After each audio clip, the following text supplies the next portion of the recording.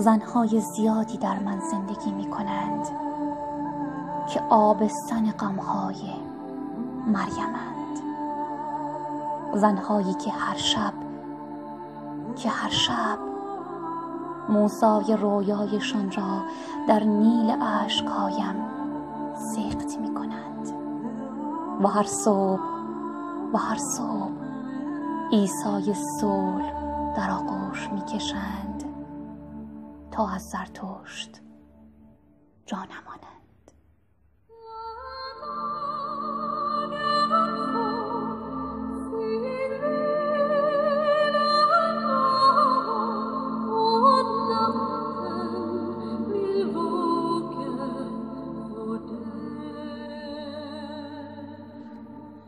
زنهایی که از آتش ابراهیم گل میچینند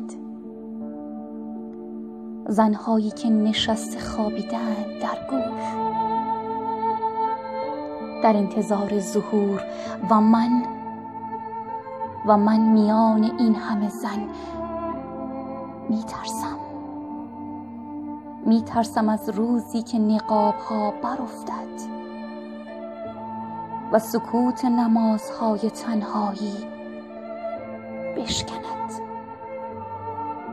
و شیطان و شیطان خست از تمام زخم زدنها.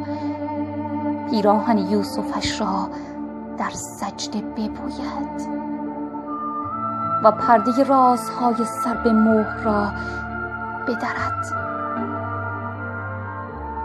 آن روز سبز انقلاب خواهد شد و زنهای درونم قیام خواهند کرد.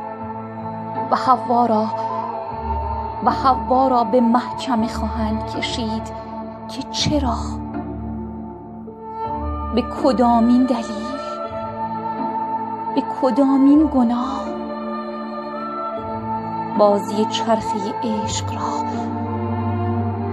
آغاز کرد.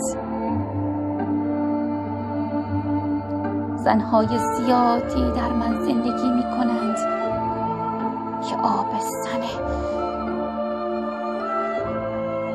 غمهای مریمت غمهای مریمت